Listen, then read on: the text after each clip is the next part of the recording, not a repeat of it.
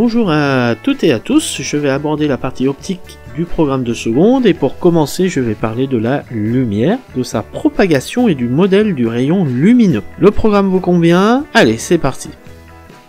Le modèle du rayon lumineux. Pourquoi un modèle? Parce que je pense que vous avez compris qu'en science et particulièrement en physique, on établit des modèles pour représenter le monde qui nous entoure, la lumière ne fait pas exception. C'est pour ça qu'on a le modèle du rayon lumineux. Dans ce modèle, on va représenter la lumière par un trait, un rayon de lumière, et on considère qu'il se déplace en ligne droite. Et pour compléter ce modèle, on met le sens du déplacement de la lumière depuis un point de départ vers un point d'arrivée avec une flèche. La lumière se déplace dans le vide à une vitesse d'environ 300 000 km par seconde, exactement 299 792 458 mètres par seconde, ce qui est une vitesse très rapide pour nous, pas forcément à l'échelle de l'univers. En une seconde, la lumière fait environ 7,5 fois le tour de la Terre,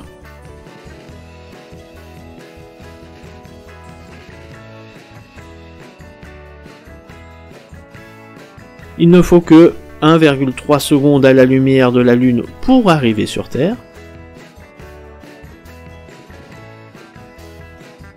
La lumière de la Lune n'est que le reflet de la lumière du Soleil qui, elle, met environ 8 minutes et 20 secondes pour nous parvenir.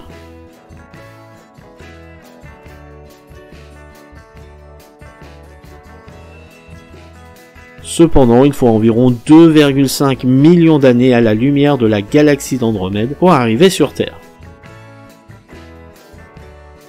Ramesh Rashkar et Munji Bawendi, chercheurs MIT, ont mis au point une caméra ultra rapide qui a pu capturer le déplacement d'un faisceau lumineux au ralenti. En effet, ils ont une caméra qui peut filmer à plus de 100 milliards d'images par seconde.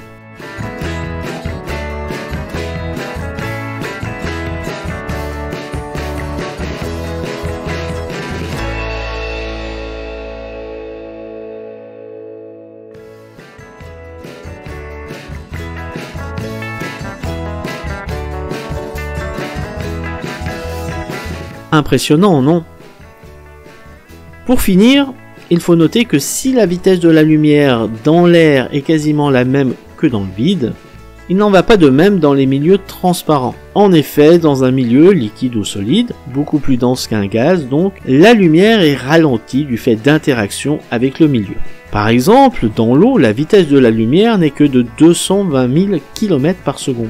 Dans du verre, on est plutôt aux alentours de 200 000 km par seconde, et dans le diamant, c'est carrément lent avec seulement 125 000 km par seconde.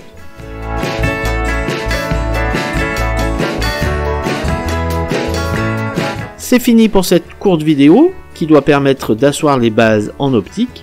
Merci à toutes et à tous de votre attention. Je vous donne rendez-vous bientôt pour la suite. Et sur ce, n'oubliez pas, la physique, c'est facile.